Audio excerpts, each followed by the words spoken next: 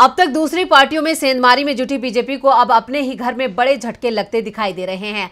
BJP को महाराष्ट्र में शून्य से शिखर तक पहुँचाने वाला मुंडे परिवार अब बगावत के संकेत दे रहा है। अगर मुंडे परिवार बीजेपी से अलग होता है तो पार्टी के हाथ से बड़ा ओबीसी वोट बैंक भी फिसल सकता है।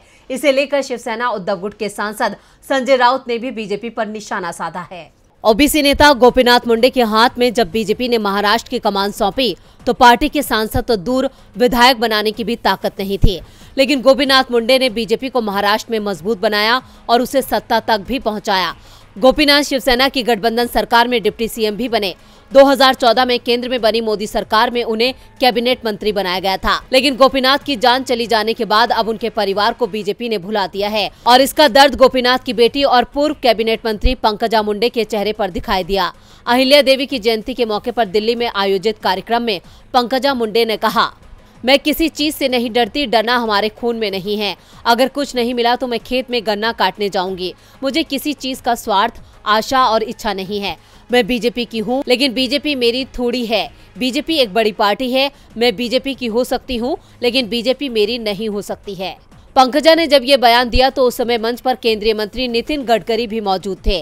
पंकजा के बयान से महाराष्ट्र में बीजेपी का माधव समीकरण पूरी तरह से बिखरता दिख रहा है।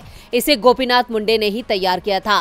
उन्होंने ओबीसी वर्ग की तीन जातियाँ, माली तीन फ़ीसदी धनगढ़ चार फ़ीसदी और बंजारी दो फ़ीसदी आबादी को एकजुट कर बीजेपी को महाराष्ट्र में बड़ी ताकत बनाया था। लेकिन मुंडे परिवार की बगावत के बाद ये जातियाँ अब बीजेपी के खिलाफ होती दिख रही हैं। दरअसल पंकजा मुंडे नाराज़ तो पहले से ही चल रही थी।